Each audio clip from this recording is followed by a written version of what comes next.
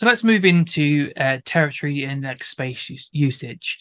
So, what sort of like territory establishing behavior do you see from wild bearded dragons?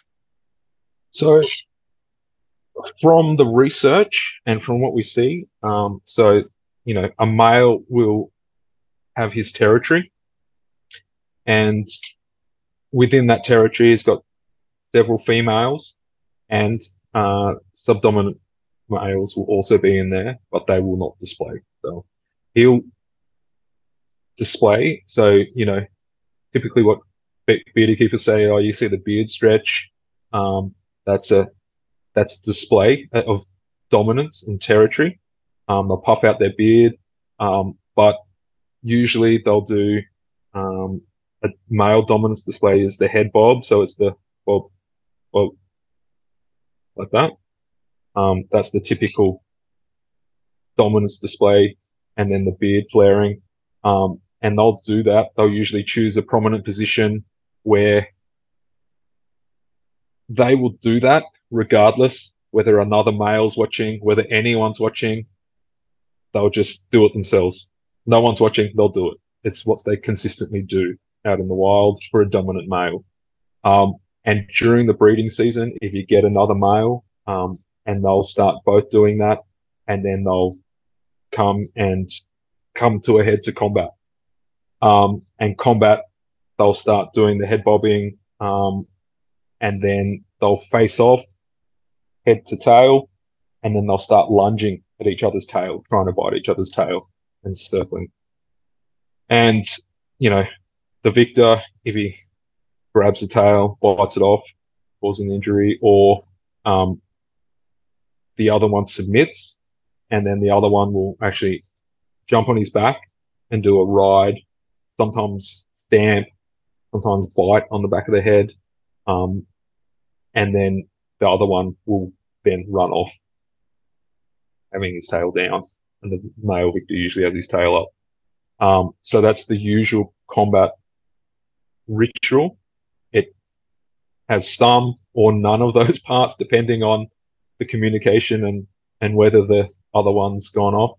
And it's usually um, usually it's the largest male from the studies. It's usually the largest male that that will be the victor um, and go from there. So, is it only males that hold territory, or do females get like, a bit of territorial with each other as well? So the females will live in a in a overlapping patchwork within the males' territory.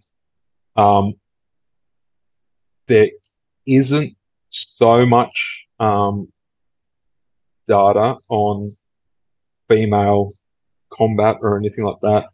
Um, there is probably there's other better people to ask. Um, there's Christopher Wild. He did his PhD on uh, super females, the temperature dependent um, sex determined females, um, and they were talked to being more aggressive uh, and more male like in their behavior and their characters.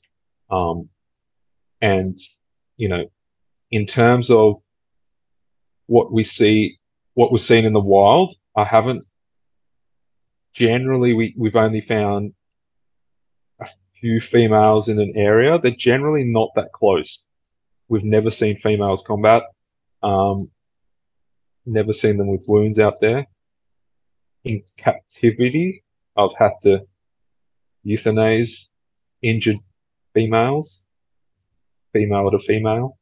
Um, and yeah, so I, from the study, bearded dragons that are born in the area generally stay in the area. So in terms of territory, that's what they're they're staying in. Um, they don't move far from where they're born. So. so for the males, then, what sort of like territory size do they establish? So in our study, we ca- recaptured three animals, all males, and they were all within a hundred meters of where we caught them from where we first caught them. So we do know that it's within a hundred meters. Um, Badham's study found that the average was a 200 meter radius. And then with a maximum of about 800 meters range radius. Um, and once again, I'll refer to Dr. Christopher Wild now with his PhD. He actually did radio tracking of males, and um, he found that some males actually moved up to two kilometers. So, Oh, so yeah, wow. so it's yeah. you know, so it's and I have to go back over it and look at his stuff, but um, whether it was just them moving along, but I don't think it was them moving two kilometers, but it wasn't an established territory in two kilometers. obviously. So on the flip side to that, then courtship. What does courtship look like in the wild? So courtship is so a female will determine when she's ready to mate.